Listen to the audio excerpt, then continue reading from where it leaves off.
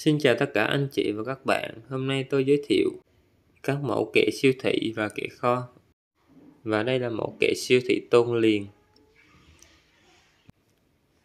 Và đây là kệ bê lỗ và kế bên là kệ siêu thị tôn liền và kệ đựng rau quả.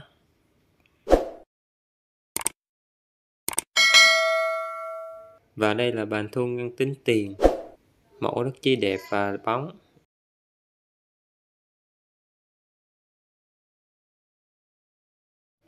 Tiếp đến là những mẫu kệ kho và kệ trung tải. Và đây là các mẫu nhỏ mini được trưng bày ở tại văn phòng. Như các bạn và anh chị đã thấy thì cái mẫu kệ này được sơn rất chi là bóng và đẹp. Và đây là các mẫu kệ được trưng bày. Và đây là kệ trung tải.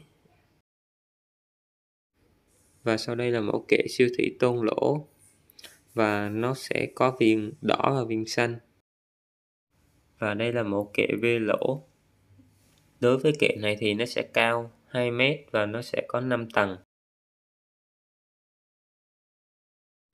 Cảm ơn các anh chị và các bạn đã theo dõi. Hãy like và đăng ký kênh để ủng hộ.